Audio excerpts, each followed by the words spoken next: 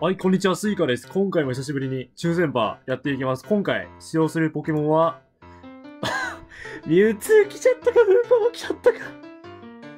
え今回は、久々に真面目回になりそうですね。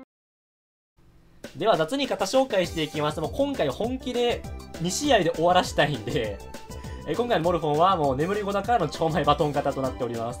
で、バトン先が、えミュウツーで、超前バトンすることによって、まあ、特攻がアホみたいに上がるんで、まあ、これで、サイコブレイクで、まあ、ノキアリのポケモンワンパレ沈むんじゃないかなと。で、まあ、木狼で、このフェザーダンスとか黒い霧とかでサポートしてから、モルフォンとかを出して安定して超前をしていくっていうのも、狙いの一つでもあります。で、もう一つの戦法が、ガーメールで追い風の起点とかを作ったりして、追い風下でこの多様な技範囲を誇るアサナを使うことによって、最低でも2匹倒すっていうのを目標に用意しまして、で、最後に残党として、まあ最初でもいいですけど、最初と最後のどれかに、このフーパの古代スカーフで上からのシュート攻撃で、相手を崩壊しに行くっていうのも、これも一つの狙いでもあります。ということで早速、フリーに潜っていきましょう。てか、久々にフリー潜ったけど、普通になんかレベル16のカリキで使ってるあたり、ランダムフリーもなかなかなフリーですね。さあ、あの、外国人の方、対戦よろしくお願いします。これね、めっちゃ朝なん刺さってるわ。めっちゃ朝なん刺さってるんで、これね、ガーメールの追い風からちょっと強引に繋げていきたい。だから先発は、ガーメール。で、まあ、と、アサナ。まあ、最後は、汎用性が高すぎる、スカウフフーパで。まあ、これで多分、残党どもも仕留めることできると思いますんで、こんな感じでやっていこうかなと思います。ということで、よろしくお願いします。てか、なんか真面目にさ、ポケモンバトルする、久しぶりやな。今回マジで申し訳ないけど、俺も2戦で撮影終わらせるからな。この1戦も、朝なんちゃんと活躍させて、次回の試合でちゃんとモルフォの超前バトンを決めて、もうドヤガル今回の抽選馬最速で決めるからな。これ、これさ、あの、朝5時に、よっしゃ、抽選馬ポケモン育成しようってなって、で、開いて、抽選馬決めて、これで、パーティーも実はこれ、制作時間、10分しかかかってない。10分しかかかっていませんが、頑張っていきます。ここはですね、まあ安定の追い風からでいいかな。うん、アサノンが順調に通るんで、で、ガーメール特性今回、虫のさざめきなんで、まあ、さざめき、まあ、虫の知らせ、県内まで行ってくれたら、多分、虫のさざめきプラス、あの、アサナの飛び先りで、パルキア倒せるんじゃないかなと思うけど、さすがに浅はかかな。まあ、とりあえず、さざめき県内で行きますか。さざめき、さざめきと知らせ毎回毎回間違えちまうわ。パルキアって耐久どんなもんなん？なんか特攻とさ、素早さがそこそこ高かったの覚えてるけど、あ、意外と食らいましたね。アクアテール。ガチ両党やん。珍しいですね。さて、じゃあこっから、ダークフォース出していきましょうか。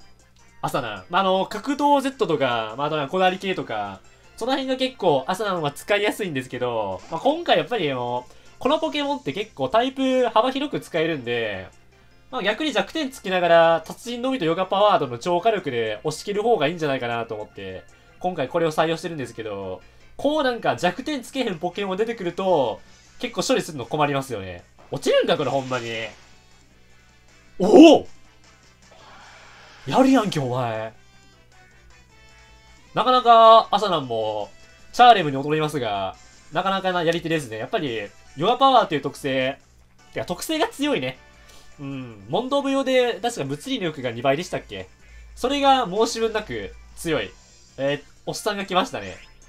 さあ、まあ、ここ、なだれと冷パン、75で、冷パンは75やったっけ？同じですね。まあ、ここはもう冷パンで、一撃で沈めれることを前提で、ここで別になだれでひれましたとしても、結局追い風ターンが次消えてしまうんで、強っなんやねんこいつ。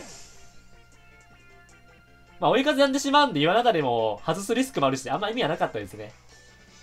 いや、普通に、朝なん強いな。多分これは達人のみがなかったら、絶対に、あ、耐えたと思います。これだから達人のみがね、いい感じに味を出してくれてる。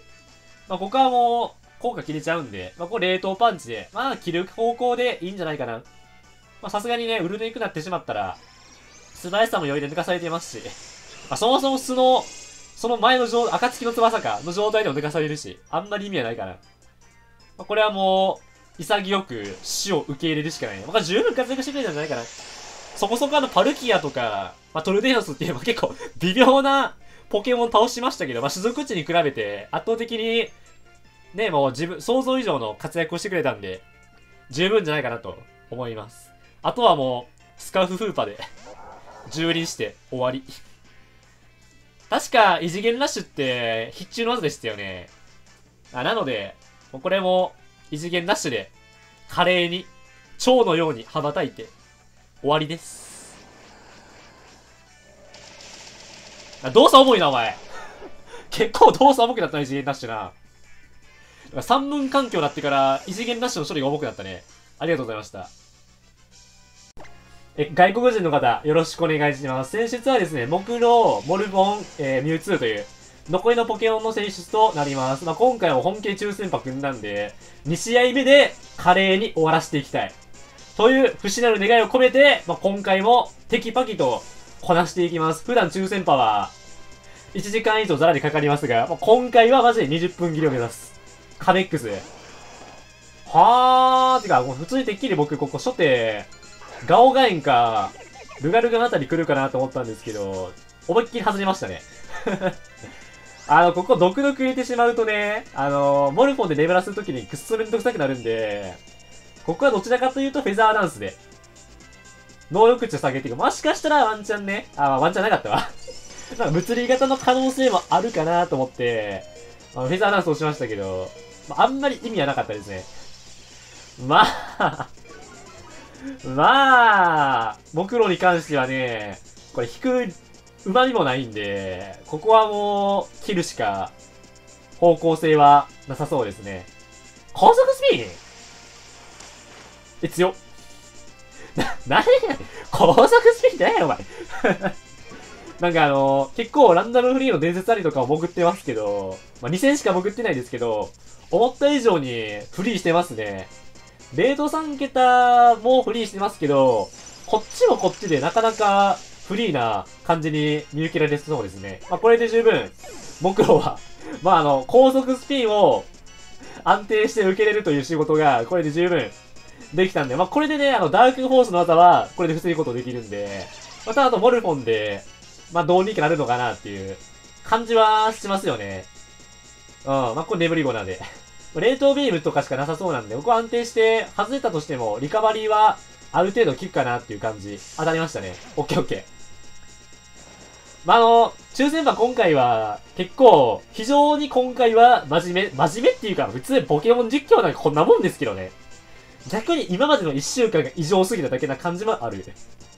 まあ、あの、超能迷子に関しては、一回積んでしまえば、正直、ミュウツーで、まあ、無双を図れると思うし、一回積むだけなんだかんだで、正直全ポケモン、全員倒せると思うんで、ワンパンで。まあ、なので、もうここも超前1回で十分ですね。なので、まあ、ここはもうそのままバトンタッチで退場していいんじゃないかな。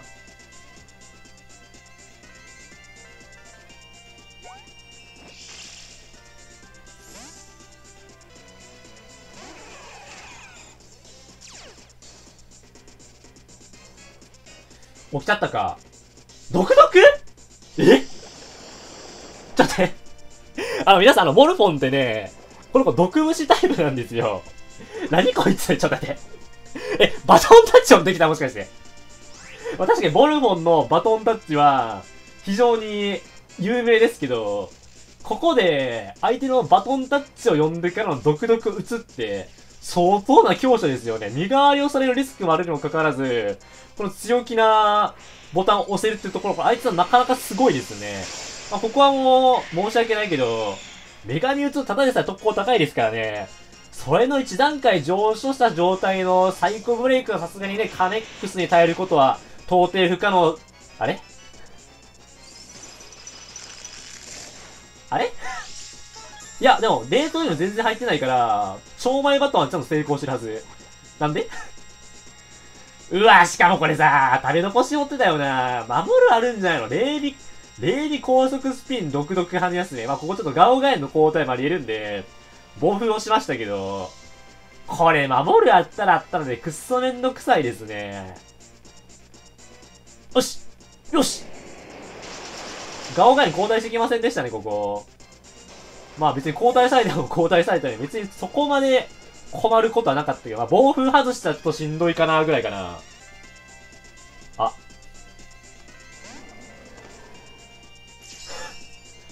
えー、ガオガエルの違いって、あの黒部分が白になんねんな。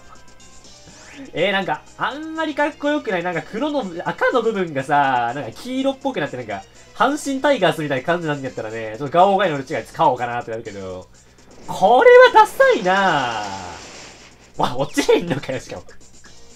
まあ、混乱してからいいわ。これで続いて自称してくれ。もう、送信型ミュウツーがもう、もうもうなんかメガミュウツーボロボロやねんけどおい。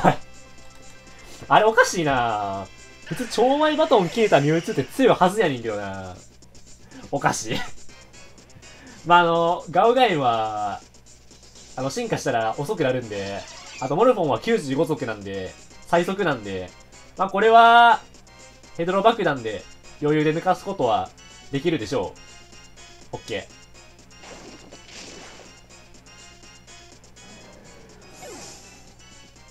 まあ、この感じで来たら最後は、ゼクロムとかなんじゃない？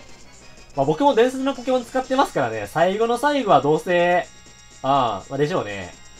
ゼクロム。まあこれあのゼクロムってね、あの素早さ90族なんで、まあここもモルフォンで、眠り子なしてしまえば、あとちょうど前積んで、まあなんか確定2発取れたら、まあ勝ち目が見えるかなって感じ。で、め眠り子な外して、あ。いや、耐えへんかさすがに。大撃は無理やと思うけどさ、あぶねえあぶねえ危ないいやー、まあ、こだわりスカーフね。いやー、まさかこだわりスカーフのゼクロムから来ましたね。ちょこれ雷撃飛んできた瞬間、間違いなく死んでたね。このぐらいやったら。だってあの、雷撃力確か150でしたっけ ?130 やったかな ?130 のタイプ1で190ぐらい出ますから。で、自然の突きって弱点込みでも160しか食らわないじゃないですか。まあ、それもあるんで、まあ、これも相手さんの誤算という感じでしょうか。まあ、こちらが脳死で HP で努力値ぶっ破したおかげで、それが生きましたね。あとはこれで、確認取れたら、勝てる。かもしれない。まあ、ここで目が覚める確率が30%ぐらいですから。ここで目覚めなきゃ打って、かつ、半分いったら勝てる。はーくーちょっとこれやばいな。やばい、ここ、ここ、ここ、ここ。これで多分50%ぐらいでしょ、次ここで。